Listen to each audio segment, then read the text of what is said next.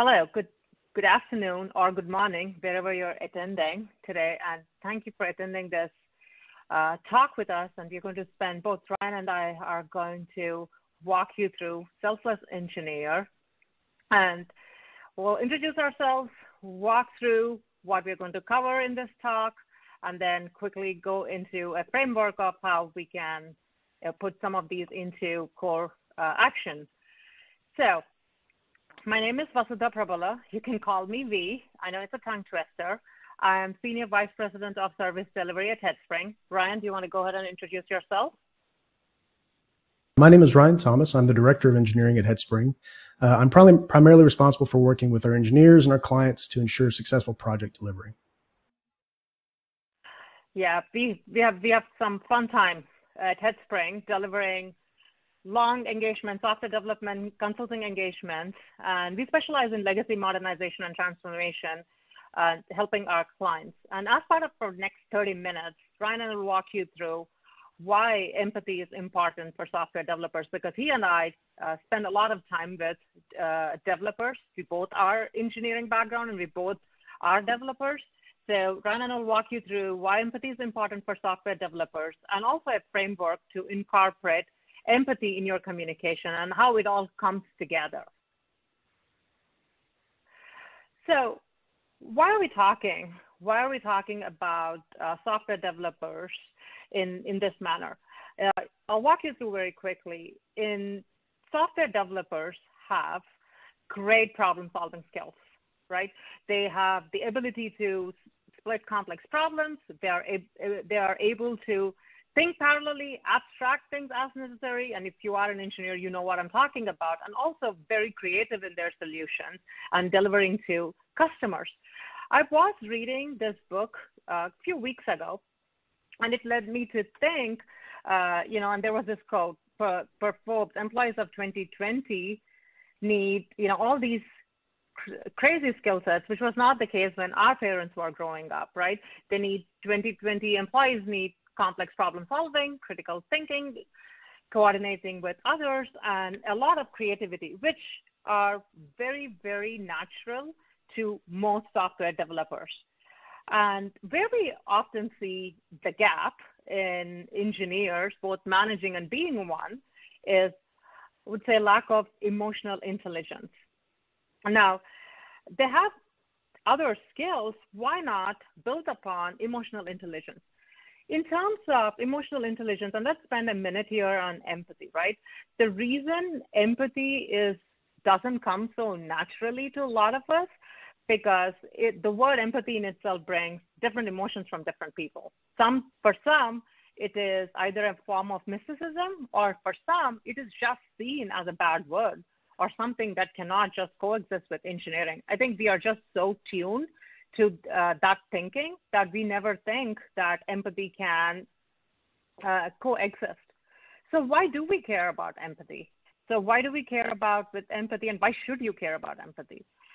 Uh, if you're a software engineer, you're writing code, and more often than not, you're writing it for somebody else. You're in the development field. You are constantly talking to the customers, and if if you have empathy, you can understand the needs of your customers at work you will be you will more likely treat people you care the way you would like to be treated.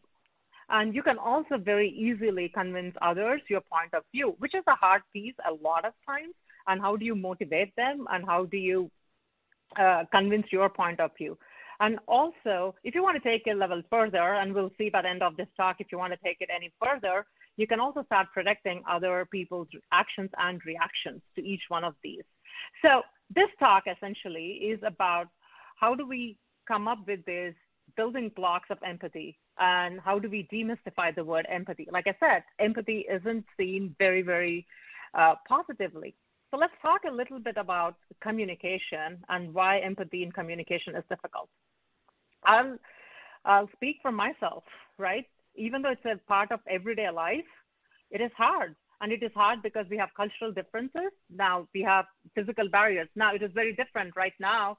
My media wasn't working, whereas Ryan's is working. I'm like, I can't see people's reactions and you can't see my reaction. So it's hard. You know, you have to depend upon the words that you use to communicate. And there is also this inherent fear and reluctance that we have that we will not be respected and we will probably feel unheard if we say something that may not gel with somebody else's opinion. So, all of this, even though communication is such a key part of our everyday life, all of this come together and make it very, very hard for us to communicate freely, especially when we are working with clients, writing code, and given the technology that we have, you know, we have to put in additional effort to actually be empathetic and deliberate in our communication. Here's the thing empathy is not something magical, it's not mystic. Empathy is as simple as your ability to understand someone else's position. Empathy is not about you conveying what you're feeling. Empathy is your ability to understand someone else's position. And the minute you can put yourself in other person's point of view and uh, in their shoes, then you can very easily bring up the lot of empathy in your communication. Because we are engineers and we love solving problems, what we have done is we have come up with a five-step framework to actually take it into bite-sized chunks and, and solve this issue of empathy and how do we actually make it our incorporate into our day-to-day habits. With that, I'll pass it over to Ryan. Thanks, V. So the five steps to becoming a better communicator, it's not really that compl- uh, complex. It's really a matter of starting with understanding yourself and then starting by under, and then beginning, continuing to understand them, uh, building comfort into conversations, developing your active, active listening skills, and then finally practicing, practice, practice, practice. so how do we understand ourselves? Um, who we are at work versus who we are at home are typically very different. We've adapted ourselves consciously or even subconsciously over time to suit our environments.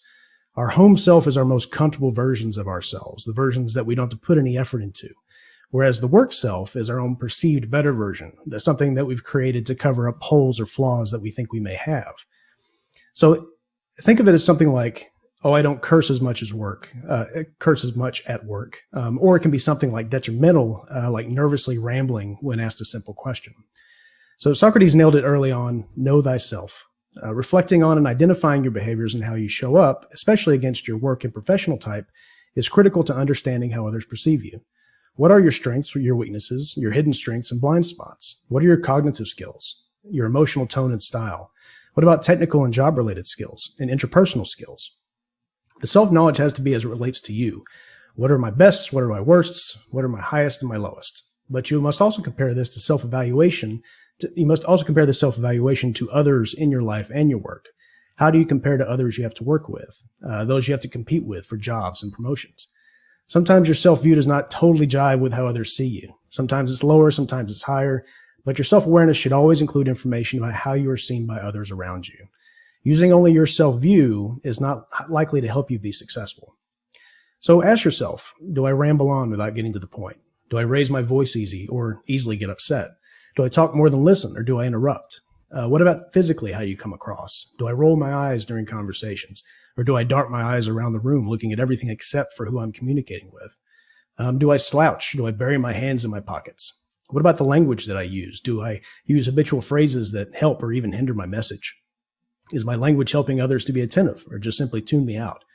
Uh, does it encourage conversations and build bridges? Uh, am I making others feel heard and respected, or simply ignored and un- under, uh, unappreciated? Uh, when there is a communication obstacle and you're having trouble connecting, don't immediately think that it's the recipient's fault. It's very possible that your own communication style is keeping you back. So there are tools available that you can utilize to help you start this self-awareness journey. Uh, DISC, color theory, Myers-Briggs, uh, all these will give you a starting point to understanding your own personality. What's important to know is that these tools are not there to dictate who you are, but to guide you in understanding who you are. I'm sure some of you have used one or more of these tools in the past, taken the quiz and seen the results and told yourself, eh, well, that's, that's nothing like me. Uh, or even, wow, this is crazy how accurate this is. Um, the questions in these quizzes have years of research, research behind them. Uh, when you take the quiz, you're basically having a conversation with that quiz and it's telling you how, to, how you showed up in that conversation. Your mood, attitude, energy, recent events, even everything affects the outcome. So if you disagree with the results, Why? What's different about today? What did the quiz see about your responses that you might have missed? Maybe you had an interaction that made you really angry, so your responses were a bit more dominant than usual. Use this information and start understanding how others may perceive you. And use this information from the other types uh, and the results of the quiz to get a head start on understanding others. So, what do you do with all this information? You use it to control the rough edges of yourself. Understanding yourself allows you to be aware of yourself. And when we, be, we become aware, we can enact change. The simplest example is trying to overcome the O's and the ums and the other verbal tics that we have when speaking, but it can also be used to expand how we control our overall emotional and physical response and how it affects our presence in conversations. You choose who you want to be and how others see you. So I want to take a minute and talk about uh, energy in every interaction, there's a balance of energy between the participants. I'm not referring to anything spiritual or, or otherworldly, but really what I'm talking about is the amount of effort each person has to put into an interaction. Introverts, for example, have to put a lot more energy or effort into the conversations, whereas extroverts don't have to put as much. Conversations between extroverts and introverts are roughly balanced. The extrovert can just talk at the individual or the introvert, and when it's over, both parties leave somewhat satisfied. The extrovert for getting to talk, and the introvert for not having to talk at all. However, if you put two introverts together or two extroverts together or some other mix in a large group, it can create a struggle to maintain balance in the conversation. When you take part in communication, ask yourself, do I need to put more energy or more work into this conversation? Or am I putting too much energy into it, dominating the conversation and preventing others from getting through? So understanding them is just as important as understanding yourself. Before any interaction with someone else, you should take at least a second to think about them. Think about the last time you spoke or interacted with them. What was important to them? What are they working on? Who, who are their friends? Is there anything going on in their life that could be stressful or exciting? What do they believe in? What are they passionate about? Start from a positive place. Many workplace interactions can become competitive. I did this better. I did this first. Uh, resist the urge to one up them or, com- or compete. Instead, be the first to celebrate their success. Ask them about themselves and get details and let them talk. Shut up for a minute and just let them talk. People love to talk for themselves. They can be general uh, topics, or if you know specific things, ask them about specific things and just let them talk. Show genuine interest in them and the world and what they could be interested in, and then look for similarities between you and them. And then use that to find genuine compliments and show a sincere interest. And then finally remember them. Take notes if you have to. Uh, and then finally, remember that everyone has their own self doubts and fears. By understanding yourself, you're aware of how these affect your interactions, so you can work on putting them aside and instead focus completely on the other participants in the interaction. so, how do you build comfort into conversations? First of all, you want to take care of yourself. Uh, the first experience of any conversation is the sights and the smells. Um, so, prevent the attention of the interaction from being your hygiene. Bathe, brush your, che- uh, brush your teeth, chew some gum, uh, and wear clean clothes. open up your body language. Stand up straight. Open your posture. And practice this always. It's helpful even as a general health tip. And then emulate their body language during the conversation as well. You want to get out of your head and move your own focus to them. Stop thinking about how nervous you are. Your body language reflects this, whether you like it or not. And in turn, they are, they're, they're going to mirror this back to you and become uncomfortable themselves. So if you want people to be warm to you, you need to be warm to them first.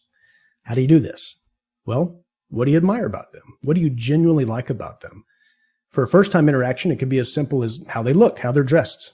Maybe they have a really cool laptop bag that you appreciate. Maybe they have a pleasant personality. Are they laid back? Are they quirky? Think about these things and focus on your appreciation of them. Your body language will reflect this subconsciously.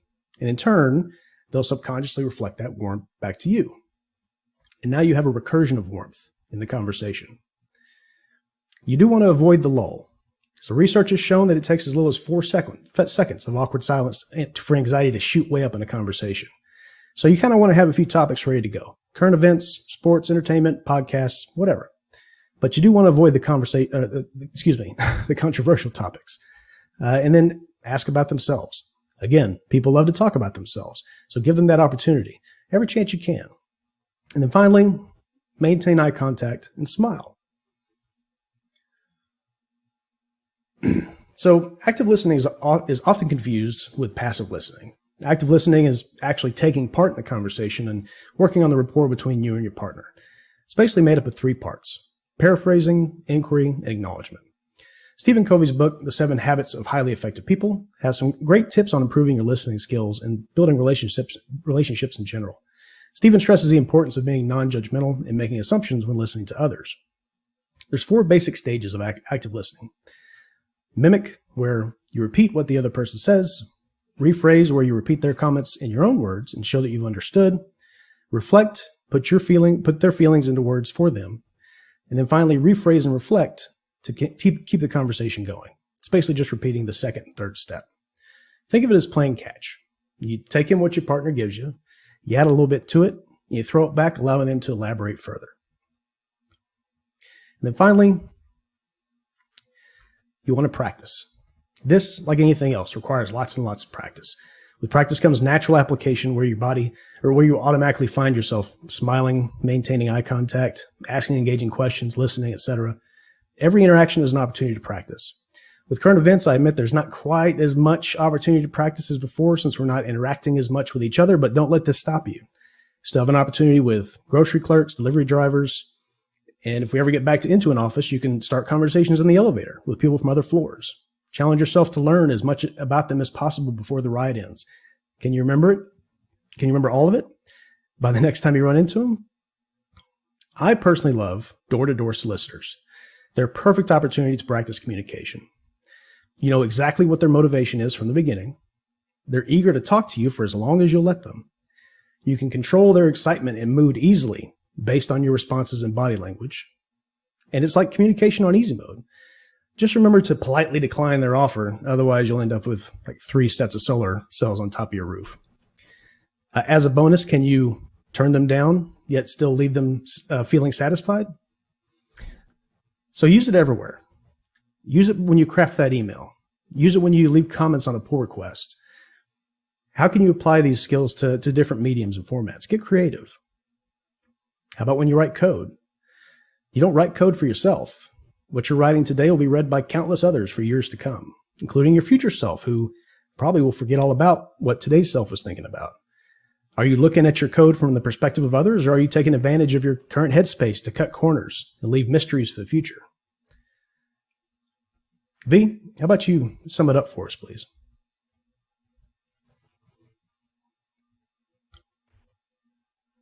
Thank you. Thank you, Ryan. And you know, a lot of people come with very different aspects of how to communicate. And between Ryan and myself, uh, when I talk, I think. So, and Ryan has to be quiet uh, for a long time before he will say certain aspects of it, right? Like he will not just think on the fly like me. So over time, we both have learned how each other work and from each other works here and we adapt. So now I use a phrase uh, that, hey, Ryan, stay with me. I'm still thinking. So this is not my final thing. So I give him a cue because I know that I think on the fly. And I, I, I'll cue my conversation saying that, Ryan, just follow me. And I'm not coming to a solution. I'm just still going. And Ryan gives me that space. And when Ryan suddenly goes quiet uh, in a conversation, he tells me, V, I need a, I need a minute um, that's fine. All of these are fine. The core of the entire thing is we all come in different shapes and sizes, and also sizes and also communication modes, right? So right now, most of us are remote, right? We are working from our home, we have our dogs barking, and we have all of these going on. But the advantage that we have is we can record ourselves. We can play it back so we know how we come across that gives us an opportunity to learn more about ourselves. It also gives us an opportunity of others, uh, you know, how are they paying attention? It also gives an opportunity to understand what's their motivation. And most importantly, while going into, I'll highly, highly recommend this, is recalibrate before you get into a conversation. Uh, recalibrate so you know what the topic of the conversation is and you know how you're going to operate. And if this is somebody you know that you have been working with, make sure that that you have that in mind that you have to give the other person space or they will be talking a lot so that recalibration will set you up for success and finally is practice practice active listening you know engaging and it's okay to be silly it is okay to make mistakes and Uh, you know, it's okay to be silly and record yourselves and uh, and get in more practice. With that, we want to thank you both, Ryan and I want to thank you for spending these 30 minutes with us, and we are open for any questions you may have.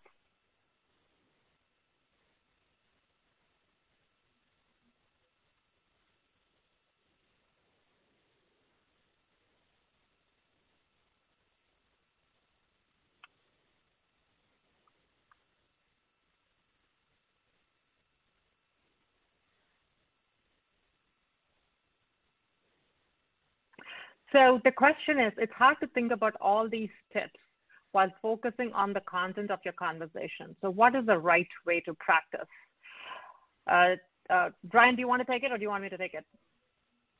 I can speak a little bit to it. Um, so going back to practicing okay. with, uh, going back to practicing with um, low impact uh, conversations, uh, this goes to um, some of the examples I put out to uh, like uh, talking with delivery drivers or grocery store clerks, literally taking every opportunity you can to be- begin a conversation and then try to practice these skills.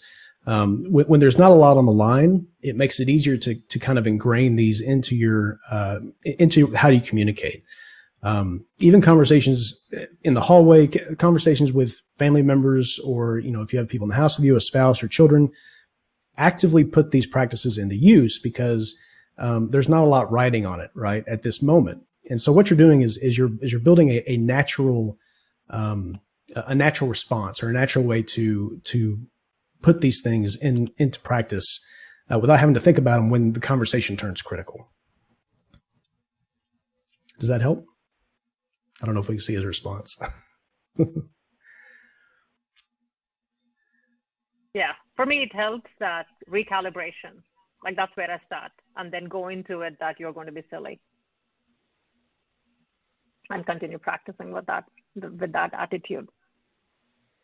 Uh, there's another question here. Uh, some neurodivergent folks find it very difficult to maintain eye contact and also engage their brains in the conversation. Uh, any tips for how to make the perception of listening match the reality of listening? Um, so eye, eye contact is important, but it's not super critical. Um, if you simply cannot maintain eye contact, that's fine. You can still practice the other aspects of active listening. Um, there's also tricks that you can use. Uh, like a lot of people, they can't look directly in the eyes, so they'll maybe stare at a point in the forehead or stare at the nose, um, things like that. If you can get that close, then it gives the illusion that you're looking at at them in the eye. That works just as fine. Um, but ultimately, if you can't maintain eye contact, that's fine. Your responses and the way you show up in a conversation will come across in other ways, such as body language um, and the way you you talk and ask questions and engage in the conversation. the next question, and I'll tie it back to the eye contact too in this, how to approach when you have previously badly approached and caused some negative impact, how to recover. You know, humility is the biggest thing. You actually put those in words. You, for example, you, you can go back to the pre the conversation that did not go very well, and you can say, "Hey, please focus on the intent uh, of what I'm going to say, uh, not on the words that I'm using, so that changes the dynamic and you can ask them to focus on the intent of and that uh, in this case you can say hey we both wanted xyz we both want success. So making them focus on the intent and not on the words will help you get far which also helps with uh, admitting be it eye contact or any of them. You can say hey don't go about my facial expression uh, you can be that i may not look into the eye doesn't mean i'm ignoring uh, or in my case i can get very excited right? You can also uh, set those expectations up front when you begin a conversation. Uh, another example that, that I can think of that happens a lot is when you get introduced to somebody and you forget their name and then have to go back and talk to them later. That's an example of a of, of a of a bad type of bad approach, right? Um, so what I do is I immediately admit that I forgot. I smile, I apologize, I self humiliate and say, it's just sometimes my memory is just, it fails me. And so can you please just tell me your name again? Um, things like that, like being humble, uh, admitting, you know, your flaws or things like that. Um, those are very helpful to kind of, um, to kind of keep things going. I think we're about to run out of time, but I appreciate the questions, guys. Um, we'll try to answer any other questions that come up after this, but it was nice presenting to you today. Have a good day. Thank you.